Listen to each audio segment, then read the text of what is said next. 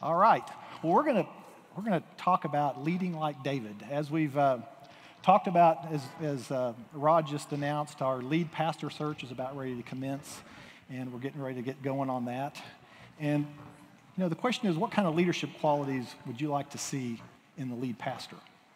Well, I've kind of thought about that, and, and, and King David has kind of exemplified a lot of the leadership qualities that I personally would like to see in our next pastor. Now, this is just me talking. It's not the elder board or anything, so uh, if you don't like one of these, don't blame them. It's just my own opinions, okay? so, the first thing uh, I'd like to see, and, and Rod actually kind of mentioned this, is, is we want God's choice for the next pastor. Uh, and you know, in David's life, uh, Saul was the king and God rejected him. And, and then he told Samuel, he said in, in 1 Samuel 16 1, he said, How long are you going to grieve over Saul? Since I've rejected him from being king. Fill your horn with oil and go, and I'm going to send you to Jesse, for I have provided for myself a king among his sons. And so Samuel went and he, he talked to Jesse, and Jesse started bringing his sons in front of him, the oldest first. And Samuel said, Man, he looks pretty good. He looks like he might be the one. And, and God spoke to Samuel and said, You know, don't look at his appearance or the height of his stature because I've rejected him. For the Lord sees not as man sees. God looks on the outward appearances, or man looks on the outward appearances, but God looks on the heart. So I, we want God's choice. I don't want my choice. I want the, the one that God has chosen. The this next thing we want is someone who's got God's heart.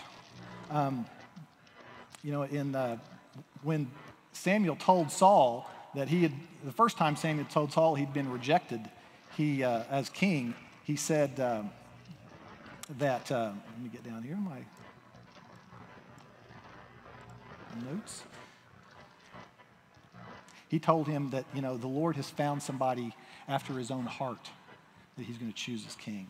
And so we want, as somebody who has God's heart uh, that who thinks about things the way God does, who has the passions God does, who thinks about people the way that God does. The next thing we want is somebody who's got God's anointing. Uh, I want a pastor who ha- has a who can look back to a period in his life in which uh, God made a change in his life, where he's uh, something different happened to where he was different from that point forward. You know, we've seen this uh, in different leaders in the church. You guys, uh, this is a picture of, of, of, Samuel where he anointed David.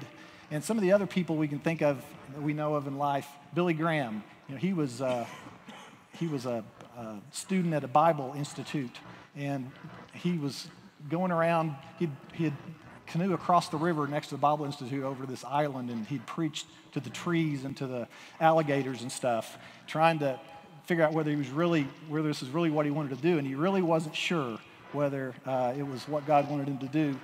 And then one day he went out onto a, a golf green right next to the, the institute there and got down on his hands and knees and said, God, if this is what you want, if you want me to preach, you know, I'm willing. And something changed within him. And he knew at that point that it was God's will for him to preach. And, you know, many of you know the, the impact he's had through the many years of, of uh, bringing people to Lord. Anybody here in the, in the audience who actually got saved at the Billy Graham crusade? Got one guy raised up his hand. I know in Sunrise there was a couple of people a couple of weeks ago that mentioned they had actually gotten saved at Billy Graham crusade. Another guy who um, um, go ahead and go to the next slide.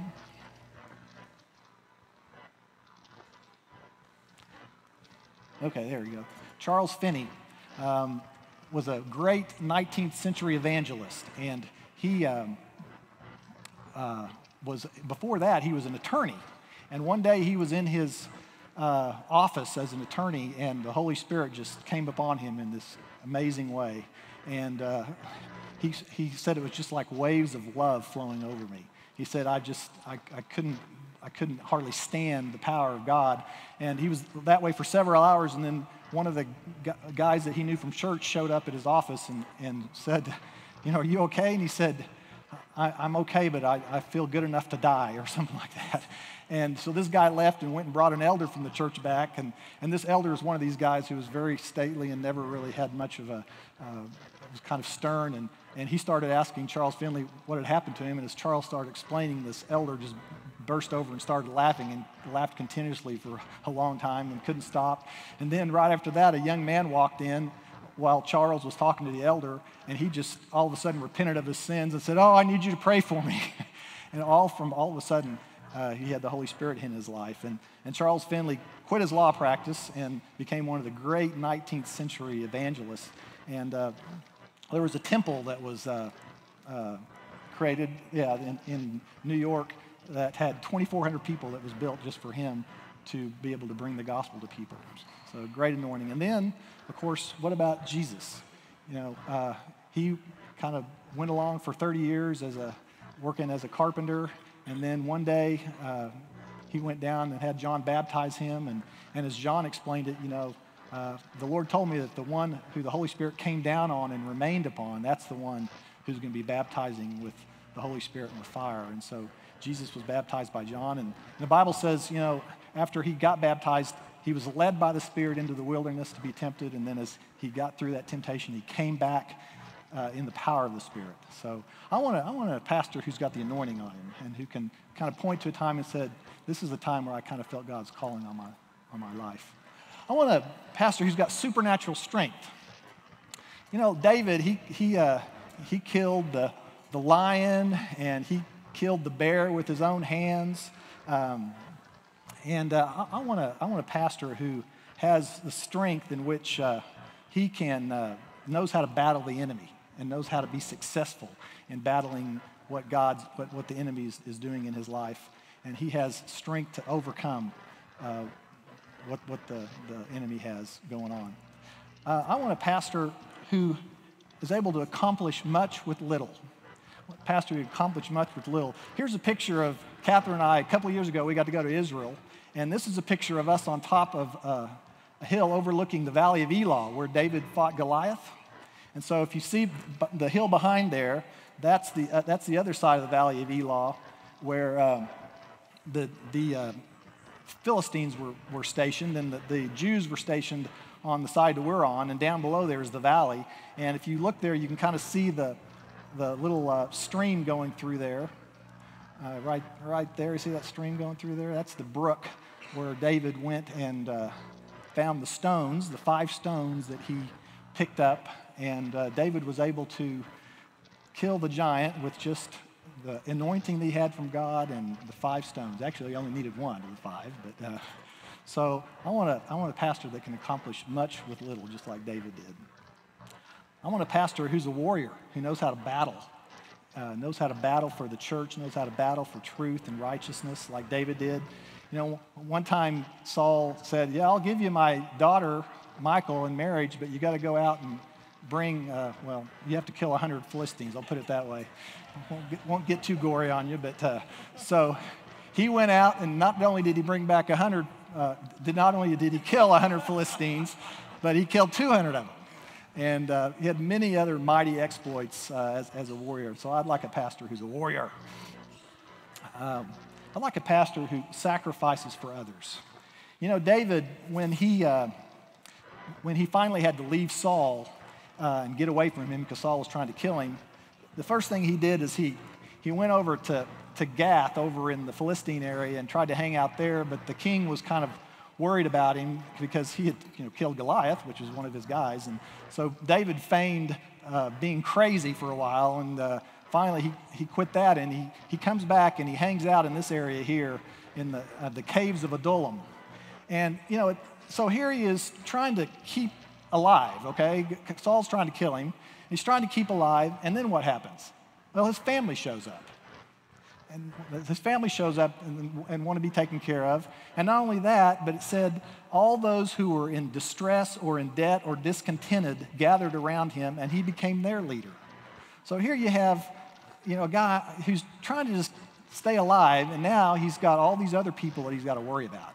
But he was willing to do that. He was willing to take on the responsibility of, of, of his family and these other people. In fact, what he did, you know, he was sitting here in the caves of Adullam, and he took his family, his, his parents, all the way down here around the, the Dead Sea, all the way over to Moab, and, and left his parents with, with the Moabites because his dad was a, still a, was a quarter Moabite, And, uh, and so David took him over and, and, and let the Moabites take care of him. But he, he went all the way and did that. And then after that, he ended up, he and his motley crew of 400 distressed and losers, basically, were spent their time going back and forth through the wilderness of Judah, trying to keep alive and, st- and uh, keep not let Saul kill them. So I want someone who's willing to sacrifice like that for his people. the next thing I want is someone who will turn DDD into MM. DDD into MM. Well, as I read in 1 Samuel 21 earlier, as I mentioned to you, uh, you know, after his brothers came, there was also came to him were those who were in distress, in debt, and discontented. So, how, how would you like to have those as people that you're leading? you're trying to stay alive from Saul, and then you got these people showing up. But later on in, in First Chronicles, it talks about some of these guys, and what it talks about them is that they're mighty men. And it talks about some of the exploits of these mighty men of God. There was 30 of them, and they had kind of they had them divided up. There was three that were really, really mighty. They were the top three. And then there was three under them. They weren't quite as mighty as the top three, but they were really mighty too. And then there were several others that, that made up the 30. And these guys were something else and uh, did mighty exploits for God. One of them was a guy named um, Abishai, who actually killed 300 uh, men at one time. And another guy killed a lion while they were inside a pit together. So these guys were something else. But I want a pastor that can take people who are in the 3D mode and turn them into, into mighty men and women of God. And you know, I know a guy who came here about seven years ago. And uh, speaking of debt, he was, had $30,000 or so in credit card debt. He had two mortgages on his house that pretty much equaled the value of his house. Uh, he was a burned out former pastor. He had sin patterns in his life that hadn't been dealt with. He had, you know, the relationship with some of his kids was strained. And his faith in God in some ways was just kind of hanging like a thread. And, uh, and there was men uh, in this church that uh, ministered to this guy. Uh, Mike McGregor preached a sermon about dealing with shame in your life and telling, telling people to, you know, you need to deal with it and come clean. And so this man went up to him the next week and said, Man, I need to get in a small group. And so Mike McGregor said, Come to mine. And so for the next several years, he and the other guys in the small group, Steve Quillen being another guy in that group, poured into him and gave him hope and prayed for him. Mike Milner looked at this guy one day and said, I see something in you. I see something in you. I'd like you to be, be more involved in, in the prophetic team.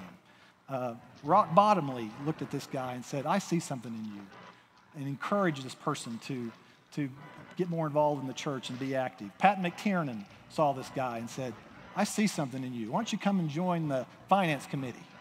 And uh, all these, there's many other people that called this, called this person out. And uh, so this church already has this in their DNA. And I want a pastor who continues to build on this. So let me just encourage you. If, if you're one of these three Ds right now, you know, you're in, in distress or dead or discontented, I think you're in the right place. And uh, if you are, I appreciate, I just encourage you to let somebody know. That's what I did. I finally said, I'm going to let somebody know this. And uh, God will turn you. I don't, I don't know if I'm a mighty man or not, but I'm a lot better than that was. That was me, by the way, that person, in case you didn't know that. Uh, I'm a lot better shape than I was.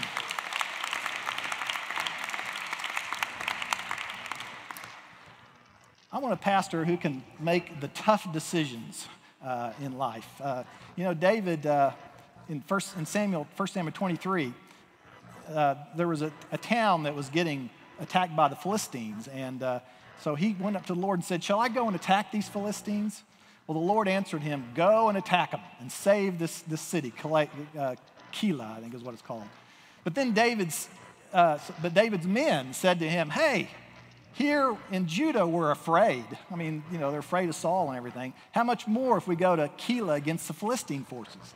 You know, we're trying to save ourselves from Saul's army. You want us to go, you know, let another army attack us? And so David said, okay, I'll go back and ask the Lord again. And so he went back and inquired of the Lord, and the Lord said, go down there to that town because I'm going to give it in your hand. And so David did, and God did do that. Uh, but, you know, sometimes we need to make tough decisions. There's going to be people around you that are going, Are you sure you want to do that? I don't know about that. And uh, I want a pastor that's willing to say, Yeah, God told me to do this. I'm going to do it. I want a pastor who's not a power grabber. Pastor who's not a power grabber. Uh, he, does, he, he doesn't grab power, but he waits for the Lord to give it to him. And if you look at David's life, he had a lot of times in which he could have grabbed the power. You know, when he was anointed initially as king, the Holy Spirit came on him. So, you know, God had rejected Saul as king and anointed him as king. So at that point right then, he could have gone up and, and said, Hey, I'm supposed to be king now. But he didn't. He waited until the Lord made the proper time. And then there was two times when he was in Saul's grasp, uh, where Saul was in his grasp, I mean, and he chose not to uh, take matter into his own hands. One time was when David was up in Engedi, and this is a picture I took when I was in Getty a couple of years ago. This is some of the caves in Engedi where David was hiding. Uh, here's another picture of it. And David and his men were up there hiding, and Saul was after him with his army, trying to kill him. And uh, Saul needed to go relieve himself, it says in the Bible. So he went up into a cave, and it just happened to be a cave that David and his men were in. And so this is kind of what it looked like inside a cave. And so Saul lays down and goes to sleep. Um, and David comes from the back of the cave, and there he is. Here's a picture of him uh, with a Saul's picture of Saul's. He tore off a, he cut off a piece of Saul's robe, and all the men, you know, were like, "Hey, here it is. The Lord has given him into your hands. You know, all this time we've spent in the desert, we can be done with it, and we can now, we can now live the good life." And David said, "No, I'm not going to do it. I'm not going to do it. It's not time yet. The Lord will take care of it. And then again, later, down farther south in the, in the valley of, in the desert of Ziph, uh, Saul was after David a second time. And uh, David and, and, that, and Abishai, the guy I was telling you about, the mighty man who had killed 300 people, well, they snuck down into the Philistine camp, and God caused all the Philistines to go into a deep sleep, and they were able to walk right into the camp and get right up next to Saul. And Abishai said, Hey, give me one strike with my spear and I'll take care of him. It's not going to take two, I'll do it in one. And, and David said, No, we're not going to do that. We're going to wait. And even, uh, even when he uh, uh, was, even when Saul died, you know, he waited and he let his own uh, tribe, Judah, make him king. And then it was not until about seven years later that he was actually made king over all of Israel. And it's when they invited him. He didn't force the issue. The other thing I want is a, uh, someone who has, whose fear of God trumps the fear of man. And I've kind of talked about it a little bit in, in, in him not being a power grabber, but we want someone who, uh, whose fear of God trumps the fear of man. David was under pressure many times by his men and by circumstances to, to do things that God didn't want him to do. But his fear of God and his respect for God caused him to not do that, and he was able to uh, follow God's will. Uh, you know, one of the problems with Saul, his predecessor, was that his fear of man caused him not to fully obey God. And so that was what ended up causing him to be rejected as God's king. Uh, another thing we want is we want a pastor who is well prepared for the job. Um, David was really well prepared for the job. He, he initially was a shepherd, and that's probably about the best training ground you can have for leading people because as God talks about, we're kind of like sheep led astray sometimes. Uh, but, you know, so he did that first. Then God caused him kind of supernaturally, uh, even though he'd been anointed as king, Saul ends up calling him into his court to, you know, play the harp for him whenever the, the, the evil spirit came upon him. So he had an opportunity to see what it was like for, to, to, ha- to run a kingdom just sitting there watching from the side without any authority of his own. He got to see what it was like to run a kingdom. Then he got put into Saul's army, so he got to see what it was like to, to, uh, to, to, fight as an army. Then he led, you know, the, he led those motley crew of the three Ds in the, in the desert for seven and a half years. Got great experience from that. And then finally, he got to be a king over just his own tribe, Judah, for about seven and a half years. And then finally, after that, he became king of Israel. Uh, in, uh, other, other, uh, in contrast, Saul became king immediately. Uh, he, and uh, it's, it's kind of like winning the lottery. You know, you've heard of the stories of those who win the lottery. I mean, usually it's just disaster because their lives aren't prepared for the new prosperity they have. And uh, so I think that really hurt Saul. You know, Psalm or Proverbs 13:11 says, "Wealth gained hastily will dwindle, but whoever gathers little by little will increase it." And so I want a, a, a pastor who's who's gone through things that have prepared him for his new job. Next thing is I want a pastor who has a repentant heart, who's someone who uh, will listen to counsel and uh, will repent before making a bad decision.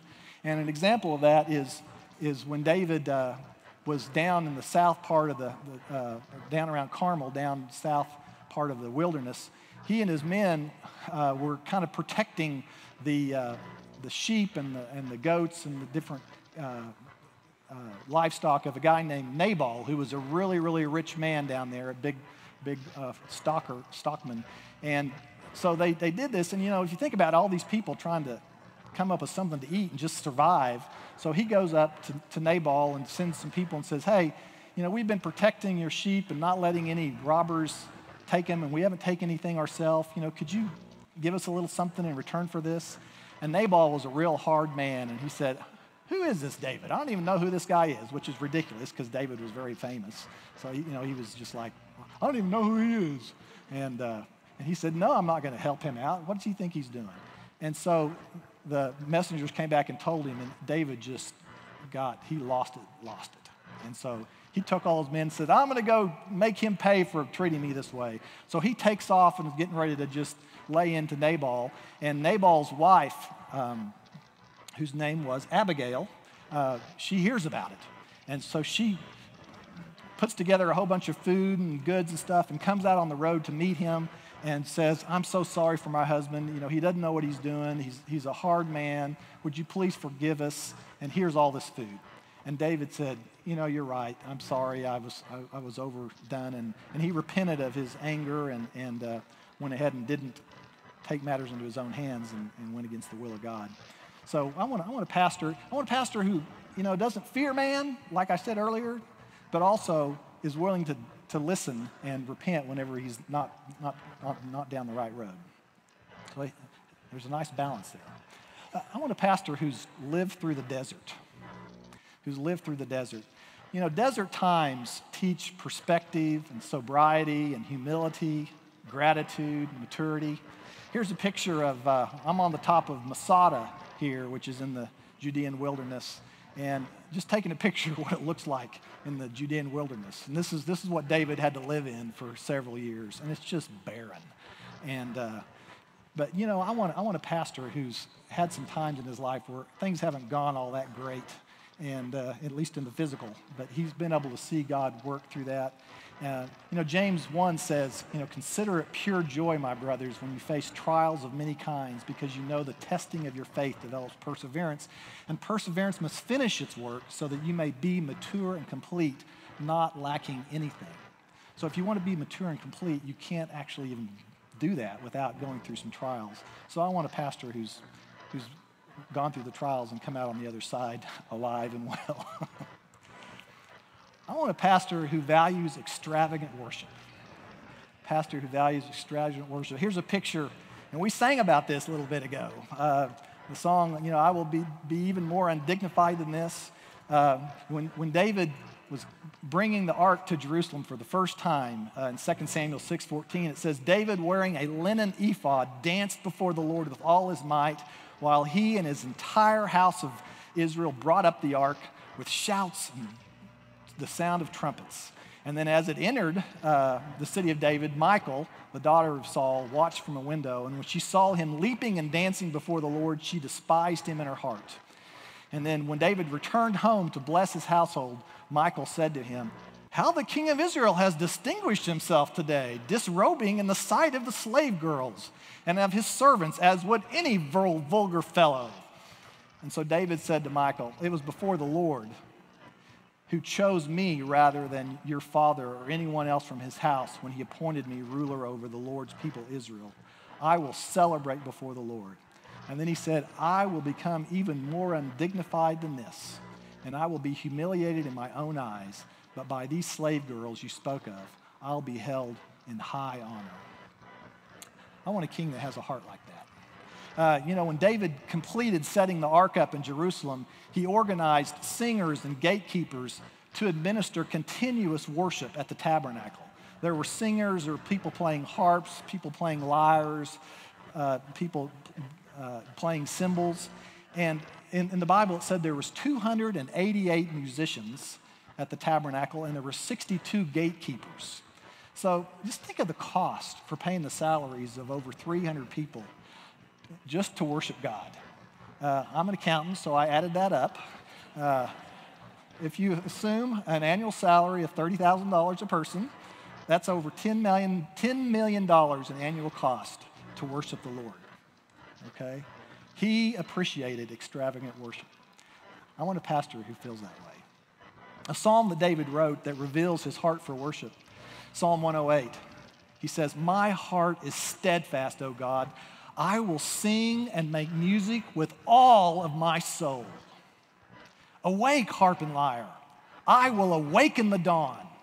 I will praise you, O Lord, among the nations. I will sing of you among the peoples. For great is your love, higher than the heavens. Your faithfulness reaches to the skies.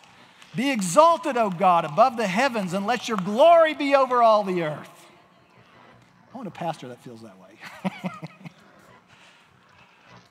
I want a pastor who's prophetic. By the way, uh, on your little bulletin, those of you who are writing down, the last two need to be switched. So, anyway, I want a pastor who can see and call out God's current and future purposes in people, places, and events. Uh, David was this way. David was very prophetic. You know, one example of this was him capturing Jerusalem and making it the capital and worship center of Israel. It was as if he understood that this, this town, this area, was part of the strategic part of God's ultimate plan for Israel and for the church over time. You know, when the Israelites first entered the promised land hundreds of years before, they were never able to capture Jerusalem. Did you know that? It was never taken over by Israel. It, they, they couldn't capture it. Uh, the Jebusites controlled it. There's one, there's one scripture where it says the Israelites captured Jerusalem and burned it, but then a few scriptures later it said the Jebusites had control of it again. So it, they may have captured it once, but they couldn't hold it. But for hundreds of years, it was under the Jebusite control. And it was only, you know, Jerusalem was only about seven or eight miles from Bethlehem where David grew up. And so he knew about it and everything. And it's kind of interesting to think about what his, what his thinking was and, and what God was speaking to him about Jerusalem because it's interesting. Whenever he killed Goliath, uh, he, he cut off his head, and guess where he took it? He took it to Jerusalem. That's all it says. It doesn't explain it, but it says he took that head and went to Jerusalem. So it was almost a strange prophetic act on his part, kind of telling the Jebusites, I'm coming, or something like that. I'm not sure. But anyway, then years later, when he became king over all 12 tribes, one of the first things he did was capture Jerusalem. And in, in 2 Samuel uh, 5 6, it said, uh, David and his king marched to Jerusalem to attack the Jebusites who lived there. And you know, the Jebusites had held it for hundreds of years, so they were pretty cocky about whether they'd be able to withstand the attack. And the Jebusites said to David, You're not going to get in here. Even the blind and lame among us can ward you off. That's what they told him. And nevertheless, it says in verse 7 David captured the fortress of Zion, the city of David. And on that day, David said, Anyone who conquers the Jebusites will have to use the water shaft to reach those, quote, lame and blind people who are David's enemies. So apparently, he, he figured out some way to use a water shaft no one had ever figured out before and was able to get in there and capture Jerusalem. So, you know, that was a I think, a prophetic act on his part. He, he said in Psalm 132 13, For the Lord has chosen Zion, he has desired it for his dwelling. This is my resting place forever and ever. Here will I sit enthroned, for I have desired it. I will bless her with abundant provisions. Her poor will I satisfy with food. I will clothe her priests with salvation, and her saints will sing for joy. So it was like he knew that this was God's plan. He had this prophetic understanding of that. And then in Psalm 110, incredible prophetic psalm, in which uh, Jesus or uh, David is prophesying about Jesus. Psalm 110, he says, The Lord says to my Lord, Sit at my right hand until I make your enemies a footstool for your feet. And the, he, he says, The Lord will extend your mighty scepter from Zion, which is Jerusalem. You will rule in the midst of your enemies. And then in verse 4, he says, The Lord has sworn and will not change his mind. You, talking about Jesus, are a priest forever in the order of Melchizedek. There's a lot of rich truths in this. If you haven't studied the Melchizedek priesthood, I urge you to do that. You can go, there's three different places he's mentioned one in Genesis, and then here, and then in Paul, or the writer of Hebrews, really unpacks it. And so uh, there's some real rich, rich uh, truths about this. But the neat thing, he mentions Melchizedek, and Melchizedek was the, the, the king of Salem or Jerusalem who met Abraham on his, when Abraham was coming back from uh, rescuing Lot and looting the enemy. And uh, he met Melchizedek, and Melchizedek blessed him, and Abraham gave him a tenth of what he had, what he had received. And so it, it, Melchizedek was the king of Salem, which is the king of peace, and he was also the God of the Most High. He was the priest of the God Most, most High. So here you had a, a guy who was both a king and a priest. And so Jesus is also uh, a priest and king. So some real cool prophetic significance of that. And so David in Psalm 110 understood that hundreds of years before it happened. So I want a pastor who's like this, who has a prophetic understanding of the events and, and what people's callings on their lives are. Okay, so takeaways. First of all, we need to pray for our new lead pastor, right? Uh, pray for the pastor would have these, these uh, these character traits that David had, um, you know, that we want to really pray that, that we, God brings the right one in. But secondly, I want to consider your own walk with the Lord. Um, the thought about where are you in, in leading like David led? You're probably leading someone right now, whether you're a father, a mother, a neighbor, a friend, or maybe in your job. Um, and God wants you to lead like David. You know, you know the old army uh, poster about, I want you for the U.S. Army? Well, I think God is speaking to me and to us as a people. God wants you to lead like David. You're probably leading someone, uh, like I said, in, in your, uh, as, a, as a parent, as a, in your job, or maybe friends that you have that look to you. Uh, God wants you to lead like David. He's looking for leaders who have his heart for people, who will perform supernatural exploits for him, who are humble and willing to sacrifice for those they lead. People who don't consider leadership an attained privilege, but an act of service to be performed for others. And even if you aren't leading anyone right now, you say, Well, I'm actually not leading anyone right now. Well, I, I, I can pretty much guarantee you, if you implement these qualities that I just mentioned, these, uh, these 3D type people that are in distress and debt and discontented will start showing up at your door looking for someone to turn them into mighty men and women of God. So uh, we want to pray that God does that. Amen? All right, let's pray. Lord, we just thank you for the examples that we have in the, in the Bible of of godly living and godly attributes. And we first of all want to thank you so much for the qualities that you gave King David that are still applicable to us today. We thank you for the anointing that he had upon him. And we know, Lord, that as we are men and women of this new covenant that you've given us, that uh, as we trusted in Jesus as our Lord and Savior, that your Holy Spirit has come into us. And that just as the Spirit came upon David, we have that same Holy Spirit living within us. And so, Lord, we just declare that, that uh, the capabilities that, that were in David's life are attainable by us today. And we ask, Lord, that you would give us an increased level of faith, that you would give us a desire to seek you and serve you so that we may be able to have the kind of impact that David had on those that he led.